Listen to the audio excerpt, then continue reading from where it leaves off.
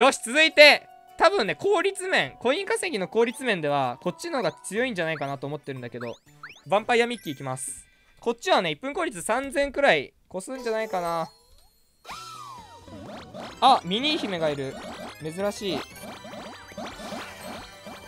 と待って、ちょっと待って、ちょちょちょちょちょちょ。いや、もったいないことしちゃった。繰り越しあんまできなかった。ちょっとね、マジでね、このチームなんか、慣れないんだよね、全然。この最初、なぞるとこ行くまでが。あんま慣れない。もうないです。もうないっす。ほい。よし。やばい、繰り越しできてない。36。ほい。よし。ほい。39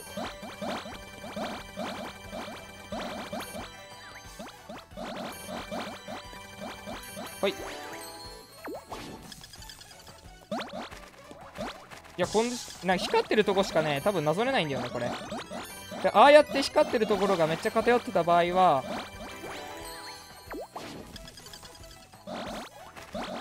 い。これはこれで OK だと思う。はい。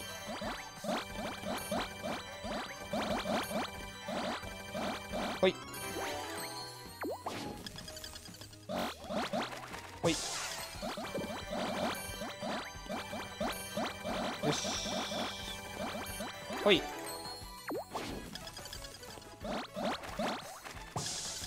いや難しいな意外に。意外に難しいですこのツム。ほい。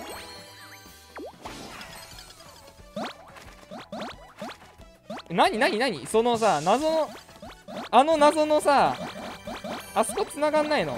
その絶妙なこの範囲がま未だにちょっと理解できないんだよねこのツム。絶妙すぎるのよ繋がるところと繋がらんところが。ほい。どこまでが繋がってどこまでが繋がらないのかがちょっとよくわかんない。まあでも正直さあんま慌てる必要はないよね。時間は止まってるんで慌てる必要はない。はい。ちょっとなぞりづらく感じるんだよなとこのツノこここ。だこれくらいゆっくりやってもいいってことだよね。時間が減ってるわけではないから。はい。よし。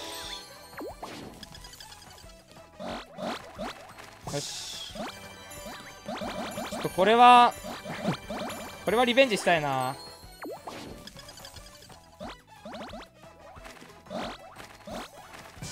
これはリリベンジしたいです。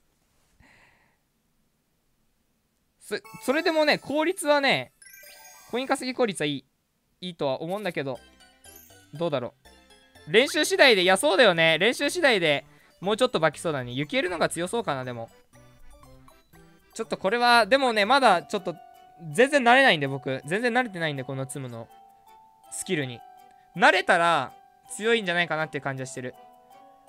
まあ、そんな感じです、このツムは。ヴァンパイアミッキー。